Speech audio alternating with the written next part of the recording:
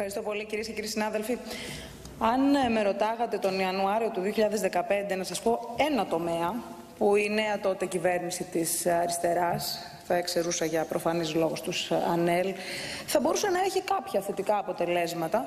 Θα σας έλεγα αφόρμητα και με μεγάλη ειλικρίνεια τον πολιτισμό. Όχι γιατί είναι ένας εύκολος τομέας, το αντίθετο. Είναι ένας εξαιρετικά δύσκολος, απαιτητικός και σύνθετος τομέας που απαιτεί συστηματική δουλειά, μεγάλη επιμονή και ανοιχτά μυαλά μακριά από ιδεολειψίες πάσης φύσεως και αιμονές. Ούτε φυσικά γιατί είχατε κάποιο συγκεκριμένο πρόγραμμα για τον πολιτισμό, σχέδιο προσιλοποίηση. Είχατε όμως, κύριοι συνάδελφοι του ΣΥΡΙΖΑ, συστηματικά και πολύ προσεκτικά καλλιεργήσει έναν ωραίο μύθο μιας υποτιθέμενης ακόμα υπεροχής, ενός ακόμα πλεονεκτήματος, μιας ισχυρής παράδοσης που γκρεμίστηκε πολύ γρήγορα σαν χάρτινος πύργος. Οι αλλεπάλληλες κρίσεις που δημιουργήσατε στον χώρο του πολιτισμού αυτό μαρτυρούν. Δεν θα μπορούσα ποτέ να πιστέψω ότι μέσα σε δυόμιση χρόνια μπορούσατε να κάνετε τόσο λίγα καλά και τόσο πολλά κακά στον πολιτισμό. Ο κατάλογος είναι μακρύς και δεν θα ήθελα να επιταθώ για να μην χάσω και την ουσία της ε, συζήτησης. Δεν θα μπορούσα ποτέ όμως να φανταστώ ότι θα απογοητεύατε τόσο πολλούς σοβαρούς από το χώρο της αριστεράς ανθρώπους τόσο γρήγορα. Η νομοθετική τερατογένεση που συζητάμε σήμερα και αφορά τα πνευματικά δικαιώματα αποτελεί την κορυφή, το επιστέγασμα μιας μεγάλης συνολικής αποτυχίας.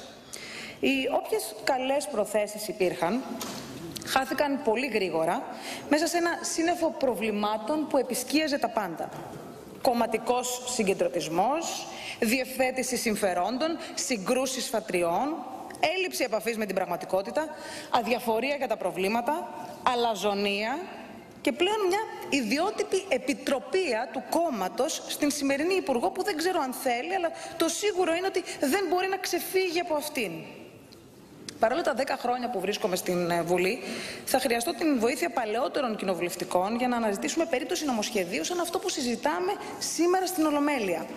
Ενός νομοσχεδίου που αποδομήθηκε με τον πιο αποκαλυπτικό τρόπο κατά τη διαδικασία ακρόασης των φορέων στην Επιτροπή.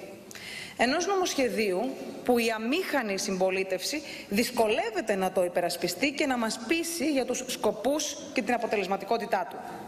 Κανένα επιχείρημα καμία στρατηγική υπεράσπισης του, ιδίως τώρα μετά και την καθοριστική συμβολή όλων των φορέων που αποδόμησαν το τερατούργημά σας. Ενός νομοσχεδίου που φέρνει απέναντι από την κυβέρνηση σχεδόν το σύνολο των Ελλήνων δημιουργών αλλά και των χρηστών. Θέλω να επαναλάβω και στην Ολομέλεια μια βασική μου απορία η οποία σε καμία περίπτωση δεν απαντήθηκε κατά τη διάρκεια των διαδικασιών στην Επιτροπή παρόλο που ετέθη από πολλούς συναδέλφους και φυσικά από πολλούς δημιουργούς. Είναι απορίας άξιο. Πώς; Μία εναρμόνιση στο εθνικό δίκαιο μιας κοινοτικής οδηγίας. Πώς μία ορθή παράλληλη κίνηση του τότε αναπληρωτή Υπουργού Πολιτισμού του κ. Ξιδάκη για έλεγχο της ΑΕΠ εξελίχθηκε σε ένα μείζον πρόβλημα για το εσωτερικό του ΣΥΡΙΖΑ σε ένα μείζον τελικά πρόβλημα κυβερνητικής αξιοπιστίας απέναντι τόσο σε δημιουργούς όσο και σε χρήστες.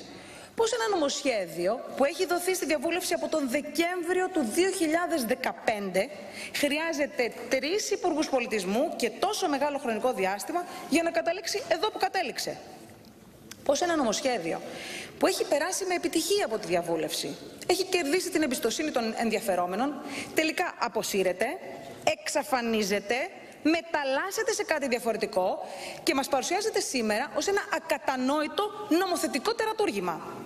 Το ερώτημα παραμένει.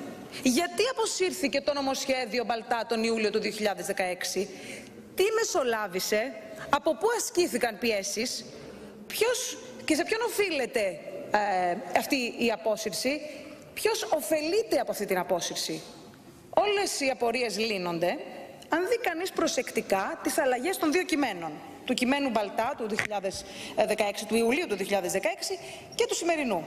Οι αλλαγές αυτές αφορούν, φωτογραφίζουν και υποδεικνύουν την ΑΕΠ.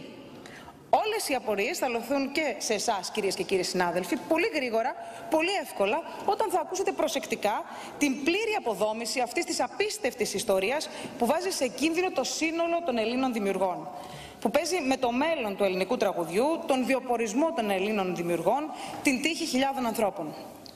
Η κόκκινη γραμμή για εμάς ήταν σαφής και ξεκάθαρη από την αρχή.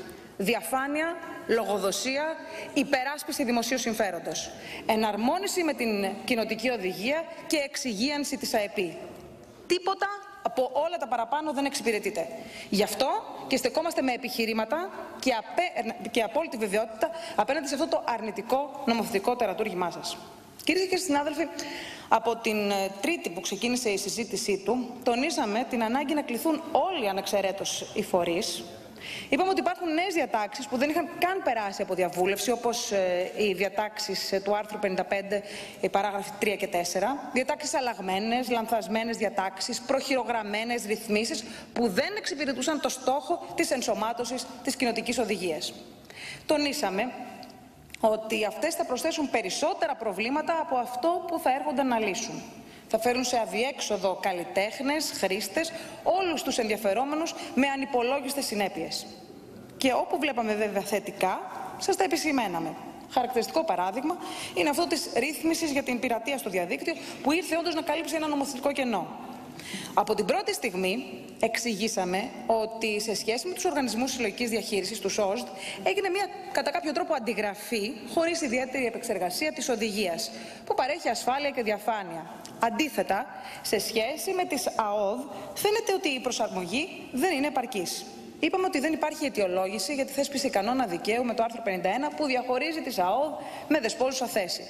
Σας θέσαμε ερωτήματα που δεν απαντήσατε και τα οποία σας θυμίζω για άλλη μια φορά. Γιατί προστατεύονται καλύτερα οι ΑΟΔ με δεσπόζουσα θέση, γιατί δεν τους προστατεύετε όλους, γιατί δεν βάζετε κριτήρια διαφάνειας για όλους; Σας ζητήσαμε να μας ξεκαθαρίσετε αν υπάρχει ίση μεταχείριση στα δικαιώματα και τα προνόμια και ιδιαίτερη μεταχείριση στις υποχρεώσεις.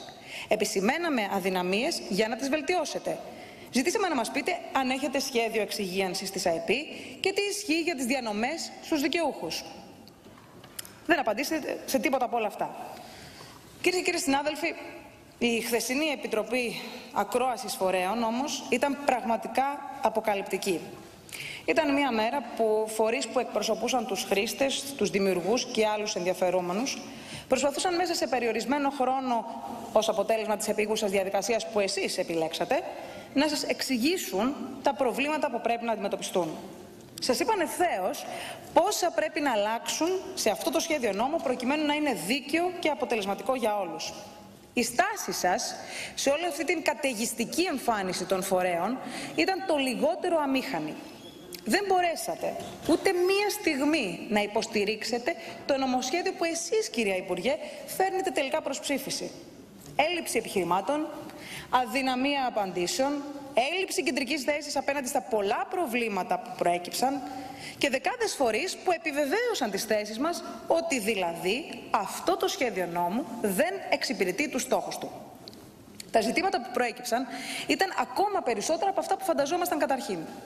Οι φορείς σας είπαν ότι δεν είναι επαρκής η ενσωμάτωση της κοινοτικής οδηγίας, ότι δημιουργούνται ΑΟΔ δύο ταχυτήτων, ότι το καθεστώς της ΑΕΠ δεν υπάρχει σε καμία άλλη χώρα της Ευρωπαϊκής Ένωσης, ότι στηρίζεται περισσότερο την ΑΕΠ παρά τους δημιουργούς με το παρόν σχέδιο νόμου. Σας είπαν για την βελτίωση της λειτουργίας του Εποπτικού Συμβουλίου, για τη μορφή του πρώτου εποπτικού ώστε να μην υπάρξουν αποκλεισμοί, για τον αριθμό των μελών του. Μίλησαμε αναλυτικά για το άρθρο 45. Γιατί ενώ θα έπρεπε να έχει γίνει πρόβλεψη για υποχρεωτικές διαπραγματεύσεις μεταξύ των οργανισμών συλλογικής διαχείρισης που εκπροσωπούν τη μουσική και αντιπροσωπευτικών φορέων και χρηστών, διατηρείται το άρθρο μεν, αλλά με ένα τέτοιο τρόπο που την ίδια ώρα καθίσταται ανενεργό, αποδυναμμένο, προσθέτοντας περισσότερα προβλήματα από αυτά που έρχεται να αντιμετωπίσει, καθώς μεταξύ άλλων απαλήφεται η Επιτροπή Διαμεσολάβησης που προβλεπόταν ανάμεσα στις διαπραγματεύσεις με τους δικαιούχους και το εφετείο και η οποία θα είχε την τεχνογνωσία να προτείνει αμοιβές για όλη τη χώρα. Ποιος θα αποφασίζει τώρα τις αμοιβές για όλη τη χώρα, το εφετείο, με ποια τεχνογνωσία; Στο προηγούμενο στάδιο, στο προηγούμενο σχέδιο, προβλεπόταν εμπεριστατωμένη γνωμοδότηση από την Επιτροπή Διαμεσολάβησης. Και εκεί ήταν η αξία της Επιτροπής. Δηλαδή να υπάρχει μια Επιτροπή με εμπειρογνώμονες και συμμετοχή των εμπλεκόμενων φορέων που θα μπορούσε να εκδώσει μια γνωμοδότηση που θα διευκόλυνε το εφετείο να καταλήξει σε μια σωστή, δίκαιη και ισορροπημένη απόφαση. Η διαδικασία τώρα είναι προαιρετική, ενώ θα έπρεπε να είναι υποχρεωτική. Οπότε θα ζήσουμε χαοτικές καταστάσεις, όπως σας τις εξέθεσα και σας ανέλησα και χθες. Και μάλιστα τη στιγμή που το ζήτημα της δημόσιας εκτέλεσης έχει ρυθμιστεί σε άλλες χώρες με αντίστοιχες υποχρεωτικές διαδικασίες. Πρέπει, κυρία Υπουργέ, να γίνουν οι απαραίτητες διορθώσεις. Ενημερωθήκαμε για το άρθρο 55 στην παράγραφο 2 και συγκεκριμένα λόγω του ότι αναμένεται η έκδοση σύστασης που θα εναρμονίζει και θα ενιαιοποιεί τους κανόνες θέσπισης και ίσπραξης των αμοιβών υπέρ των δημιουργών για την ιδιωτική αναπαραγωγή έργων τους. Είναι απολύτως εύλογο για τη χώρα μας να περιμένει πρώτα την έκδοση της σύστασης αυτής από την Ευρωπαϊκή Επιτροπή πριν σπεύσει να νομοθετήσει. Όπως επίσης ότι στις 11 Ιουλίου η Επιτροπή Πολιτισμού του Ευρωπαϊκού Κοινοβουλίου εξέδωσε τη γνωμοδότησή της και τις τροπολογίες στο σχέδιο οδηγίας για τα, πνευματικά, για τα δικαιώματα πνευματικής ιδιοκτησίας στην ψηφιακή ενιαία αγορά. Γιατί άρα για να νομοθετήσουμε κάτι το οποίο αύριο μπορεί να τροποποιηθεί και να είμαστε ανακόλουθοι; Ε, το, για, τα άρθρα, ε, το άρθρο 55 στις παραγράφους 3 και 4, επειδή είπατε χθες ότι θα κάνετε κάποιες αλλαγές, δεν θα τοποθετηθώ, παρόλο που είναι ανήκουστο να επιχειρείτε εντελώς ευνηδιαστικά η κατάργηση πνευματικών δικαιωμάτων συγγραφέων και εκδοτών με ρυθμίσεις που δεν πέρασαν καν από δημόσια διαβούλευση. Και μετά από όλα αυτά, που ακούσαμε στην Επιτροπή Ακρόασης των Φορέων και συζητήσαμε από τα σημειώματα των φορέων που διαβάσαμε, που δεν είναι δυνατόν να κληθούν λόγω, ξαναλέω, της επίγουσας διαδικασίας, παραμένει το ερώτημα το οποίο θα επαναλάβω και πάλι. Τι σας έκανε να εξαφανίσετε με πρωτοφανή τρόπο ένα σχέδιο νόμου που από τη χθεσινή διαδικασία φάνηκε ότι ήταν στην σωστή κατεύθυνση; Το φάντασμα του πρώτου σχεδίου Μπαλτά πλανάτε ακόμα από πάνω σας και θα πλανάτε για πολύ ακόμα μαζί με τις σκιές και τα ερωτήματα γύρω από την απόσυρσή του. Σας εξήγησαν οι ενδιαφερόμενοι ότι ο ελέφαντας στο δωμάτιο ονομάζεται ΑΕΠ και εσείς αρνείστε μέχρι και τώρα να το δείτε. Σας λέμε ότι σε καμία περίπτωση δεν εξυπηρετείτε το τρίπτυχο που είχαμε θέσει ως βασική μας αρχή διαφάνεια, λογοδοσία, υπεράσπιση δημοσίου συμφέροντος. Και σας ζητήσαμε να προχωρήσετε έστω και αργά στις κρίσιμες αλλαγές που χρειάζονται για να σωθεί η χαμένη τιμή των Ελλήνων δημιουργών. Κυρίες και κύριοι συνάδελφοι, στο δεύτερο μέρος του σχεδίου νόμου, που αφορά σε άλλες διατάξεις του Υπουργείου Πολιτισμού και Αθλητισμού, που βρήκατε την ευκαιρία να κάνετε πακέτο με το θέμα των πνευματικών και συγγενικών δικαιωμάτων, προκειμένου να καλύψετε την νομοθετική και ε, πολιτική ε, ακινησία τόσο Το κουδούρι χτυπάει, ξέρετε, γιατί δεν έχει ζητηθεί που θα παρέχω βεβαίως με πολύ μεγάλη άνεση Επειδή είδα ότι το την ανέωση του χρόνου. Στον, στον εισηγητή της πλειοψηφίας, θεώρησα ότι αυτομάτως θα το δώσετε και στην εισηγήτρια της αξιωματικής αντιπολίτευσης. Ζητάμε Γιατί πόσο χρόνο αυτόματα. θέλετε. Έγινε αυτόματα. Πόσο χρόνο θέλετε. εντάξει, αφού θέλετε εγώ να σας το ζητήσω, κύριε Πρόεδρε, επειδή είναι πολύ μεγάλο το νομοσχέδιο, θα χρειαστώ λίγη ώρα ακόμα. Σας Ζητάμε, κυρία Κεφαλογιάννη. Ευχαριστώ πολύ, κύριε Πρόεδρε. Πόσο χρόνο θέλουμε. Σας ευχαριστώ πολύ. Θέλω τρία λεπτά ακόμα. Πολύ ωραία. Ε, τα έχετε. Ο κοινός παρανομαστής για αυτές τις ρυθμίσεις είναι ότι ενώ θα έπρεπε να έχετε αντιμετωπίσει θέματα που βρήκατε έτοιμα από την προηγούμενη κυβέρνηση, τα αφήσατε και φτάσαμε δυόμιση χρόνια μετά να συζητάμε ακόμα για αυτά. Η σημαντικότερη είναι αυτή που αφορά την κρατική εγγύηση. Μια εκκρεμότητα που έπρεπε να ρυθμιστεί, καθώς ισχύει στις περισσότερες χώρες της Ευρωπαϊκής Ένωσης. Η διάταξη είχε προετοιμαστεί από το 2014, πρόκειται να εισαχθεί στην Βουλή, μεσολάβησε η εκλογή Πρόεδρου Δημοκρατίας, οπότε δεν προχώρησε. Επισημαίνουμε ότι είχε παραδοθεί έτοιμη στη νέα ηγεσία του Υπουργείου Πολιτισμού και Αθλητισμού από τον Ιανουάριο του 2015. Όπως επίσης και η διάταξη για τον εξυγχρονισμό της κρατικής σχολής ορχιστρικής τέχνης. Επαναλαμβάνει σχεδόν αυτούς σε αυτή τη διάταξη που σας παραδώσαμε επίσης το 2015 και η οποία επρόκειτο να εισαχθεί στο ίδιο σχέδιο νόμου με την κρατική εγγύηση. Οι λοιπές διατάξεις ρυθμίζουν τεχνικά κυρίως θέματα για τη λειτουργία των υπηρεσιών και των οργανισμών του Υπουργείου Πολιτισμού και Αθλητισμού και πολλές επαναλαμβάνουν δικό μας θεσμικό πλαίσιο που απαιτούσε επικαιροποίηση ή συμπλήρωση ή πράγματα που εσείς αλλάξατε και τα επαναφέρετε στην προηγούμενη κατάσταση. Στο σημείο όμως αυτό, δεν θα μπορούσα να μην αναφερθώ σε αυτήν την ασταμάτητη, στην ασυγκράτητη ροπή σας να καταθέτετε τροπολογίες. Σας το είπαμε και στην Επιτροπή και μάλιστα από την πρώτη στιγμή. Τα θέματα είναι τόσο πολλά τόσο σημαντικά, βάλτε ένα κόφτη στις τροπολογίες. Το ότι η κυρία Υπουργός τόσο καιρό δεν αποφάσιζε να ασχοληθεί με το νομοθετικό έργο δεν σημαίνει ότι πρέπει να έχουμε αυτή τη διαδικασία η οποία υποβαθμίζει ακόμα παραπάνω τη λειτουργία του Κοινοβουλίου. Και άλλωστε, αν έχετε πρόθεση να συζητήσετε κάτι από όλα αυτά τα θέματα, θα είχατε μεριμνήσει να ασχοληθείτε έγκαιρα. Το ίδιο ισχύει και το ξεκαθαρίζω και για τις βουλευτικές τροπολογίες, αυτή την άθλια νομοθέτηση που έχετε αποφασίσει τον τελευταίο καιρό να, έχετε, να υιοθετήσει και την οποία δεν θα παρακολουθήσουμε. Κυρίες και κύριοι συνάδελφοι, Κυρία Υπουργέ, με την ολοκλήρωση της ε, σημερινής συζήτησης και την ε, ψήφιση του νομοσχεδίου αναλαμβάνεται μια ιδιαίτερα μεγάλη ευθύνη απέναντι στους Έλληνες δημιουργούς, καλλιτέχνες, συγγραφείς, διανοούμενους, ανθρώπους των γραμμάτων και των τεχνών. Μια ευθύνη που έχει να κάνει με το παρόν και το μέλλον αυτών των ανθρώπων. Δεν θέλω να είμαι μάντης κακών ειδήσεων, αλλά πολύ φοβάμαι ότι τα προβλήματα είναι μπροστά μας. Σύντομα, κινδυνεύετε να κληθείτε να διαχειριστείτε μια μεγάλη κρίση στον χώρο των δικαιωμάτων. Αν όχι εσείς προσωπικά, κάποιος άλλος. Και αυτό δυστυχώς είναι και το βασικό συμπέρασμα από αυτήν την εξαντλητική διαδικασία. Το νομοσχέδιό σας δεν λύνει όπως όφιλε προβλήματα, αλλά δημιουργεί ακόμα περισσότερα. Δεν εναρμονίζει όπως πολύ απλά θα μπορούσε να κάνει με την κοινοπτική οδηγία, αλλά απορριθμίζει σε συνδυασμό με την κλιμακούμενη κρίση στην ΑΕΠ. Αυτή η κρίσιμη κατάσταση μας έκανε να ακολουθήσουμε έναν συγκεκριμένο δρόμο αυτών της αντιπολίτευσης με συγκεκριμένες προτάσεις και θέσεις που σας έδιναν την εναλλακτική δυνατότητα διευθέτησης. Είχατε μέχρι και πριν από λίγο την ευκαιρία να, προχωρήσετε στην, ε, να μην προχωρήσετε στην ψήφιση αυτού του τερατουργήματος, να προστατεύσετε τους δημιουργούς και τους χρήστες, να βάλετε τις βάσεις για έναν αναγκαίο εξυγχρονισμό που θα υπηρετούσε τα δικαιώματα των ενδιαφερομένων και το δημόσιο συμφέρον. Είχατε την ευκαιρία να προχωρήσετε σε μια ουσιαστική και οριστική κάθαρση μιας ιδιαίτερα δυσάρεστη ιστορίας. Η ευκαιρία όμως χάθηκε και μαζί της χάθηκαν πολλά και σημαντικά πράγματα. Πολύτιμος χρόνος, η δημιουργοί που θα στήριζαν μια γενναία τομή, η διαρκής ανάγκη για διαφάνεια, λογοδοσία και εξυπηρέτηση του δημοσίου συμφέροντος. Αποτύχατε παταγωδός σε όλα. Και πιστέψτε με, αυτό με στενοχωρεί ιδιαίτερα.